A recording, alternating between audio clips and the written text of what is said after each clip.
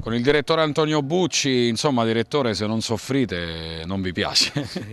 Guarda, eh, adesso possiamo sorridere, ma in banchina abbiamo sofferto tantissimo. Io non lo so se noi riusciamo a complicarci eh, da solo la vita. Insomma, siamo partiti andando in vantaggio, forse non lo so, al primo, secondo, terzo minuto.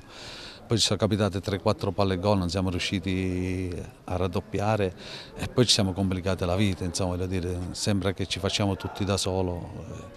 E anche loro, poi è una, una squadra che faccio onore a questi ragazzi del Lanciano perché hanno combattuto fino alla fine, anche in 10 però dopo si è complicata la vita perché abbiamo, siamo andati anche in svantaggio e non è facile recuperare perché eh, poi si è creato un, anche un po' di confusione nella squadra perché pur di raggiungere il pareggio e poi la vittoria eh, forse non siamo stati lucidi come al primo tempo e questo noi non dobbiamo farlo, noi dobbiamo stare tranquilli e giocare insomma, dire.